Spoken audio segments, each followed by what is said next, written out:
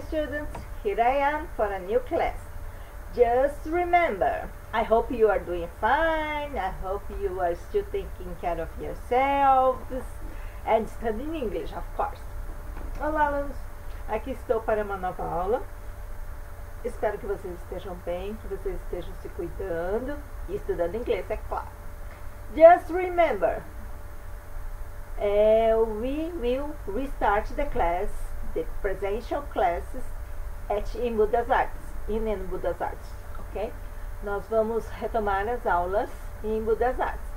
So, it would be better if you go to college, uh, high school and attend these classes. Seria melhor se vocês pudessem é, comparecer ao Colégio Polis, né? E assistir essas aulas.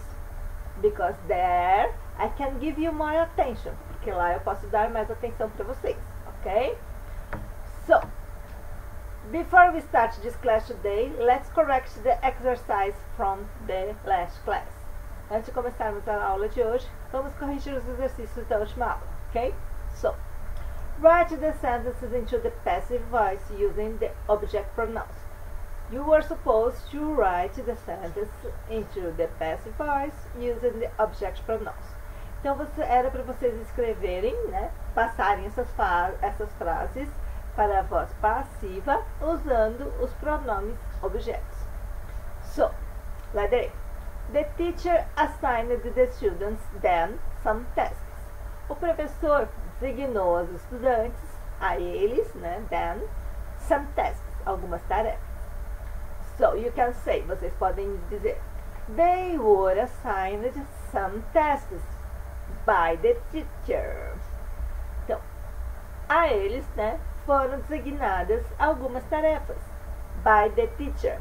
It is between brackets, está entre parênteses, because it's optional, ok? Está entre parênteses porque é opcional, você não precisa escrever pelo professor, ok? It's an extra information, uma informação extra. That's not uh, the mainly, não é a principal, ok? So, letter B. They don't speak French in this country. Eles não falam francês neste país. So you could say, você poderia dizer, French or it isn't spoken in this country. Francês ou isto não é falado neste país. Okay? Letter C. She was she has given him a nice gift. Ela tem dado para ele um belo presente. So you could say, você poderia dizer, he has been given a nice gift. E a ele tem sido dado um belo presente. Okay? Letter D. The teacher taught us a difficult theory. O professor nos ensinou uma teoria difícil. So you could say, você poderia dizer, we were taught a difficult uh, theory by the teacher. Again, this information, essa informação by the teacher é opcional, ok? Então, a gente pode falar, we were taught a difficult theory. Para nós foi ensinado uma teoria difícil, ok? Letter E, they will watch a rock concert in Las Vegas. So, eles assistirão um concerto, um show de rock em Las Vegas. You could say, você poderia dizer, a rock concert or the pronoun it ou pronome it will be watched in Las Vegas by them. So, você poderia dizer, um show de rock will be watched in Las Vegas será assistido em Las Vegas. By then is optional again. By then é uma informação que é extra, é opcional. Então, it's not necessary, não é necessário. Ok? Just remember, apenas lembrando, just remind. Here, the pronoun. Pronoun. Let's see. Here. The pronoun me, pronome me, vira na voz passiva I. Ok? Lembra? For example, the flight attendant told me to take my seat. A aeromoça me falou para pegar, tomar o meu assento. Então, na voz passiva fica I was told to take my seat. Para mim foi dito para tomar o meu assento. Foi me dito para tomar o meu assento. Ok? O pronome you, the pronoun you, stays you. Por coincidência, continua you. Ok? For example, the flight attendant gave you some instructions. A aeromoça te deu algumas informações. Então, na voz passiva fica You were given some instructions. A você foram dadas algumas instruções. Pronome him, para ele. Someone will take him to the airport. Alguém o levará ao aeroporto. Becomes, se torna, na voz passiva, He will be taken to the airport. Ele será levado ao aeroporto, ok? Então, o him vira he, na voz passiva, ok? O her, para ela. For example, por exemplo, someone could tell her about the delay. Alguém podia avisá-la sobre o atraso. Becomes she. Se torna ela. She could be told about the delay. A ela podia ser dito sobre o atraso, ou ela podia ser avisada sobre o atraso. Okay? O pronome it continua it mesmo. Okay? For example, someone gave it some food. Alguém deu algum alimento para ele. Para um animal, maybe. In the passive voice, na voz passiva, passiva, it becomes, se torna. It was given some food. A ele foi dado algum alimento. Ou lhe dado algum alimento. Ok? O pronome us, a nós. They showed us the picture of the trip. Eles nos mostraram as fotos da viagem. Becomes, se torna, we. We were shown the pictures of the trip. A nós foram mostradas as fotos da viagem, okay? ou foram nos mostradas as fotos da viagem. O you fica aí o mesmo, então. They would explain you if you arrived earlier. É, eles explicariam a vocês se você chegasse mais cedo. Na voz passiva, in the passive voice, it becomes na voz passiva é transformada em You would be explained if you arrived early. A vocês seria explicado se vocês chegassem mais cedo, ok? Ou seria vos explicado se vocês tivessem chegado mais cedo. Se vocês chegassem, ok? Uh, someone, o pronome them, a eles, becomes they, eles. For example, someone should have advised them about the weather condition, conditions. Alguém deveria tê-los avisado sobre as condições do tempo.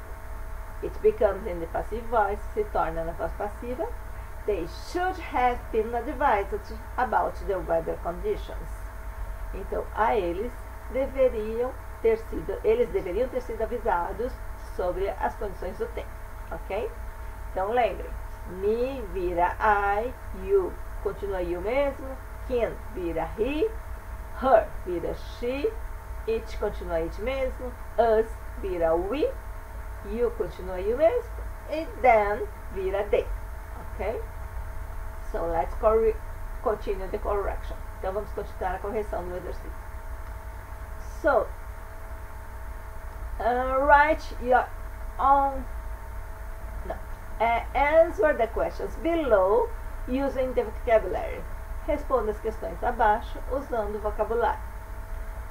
What will be done by you when you arrive at the airport?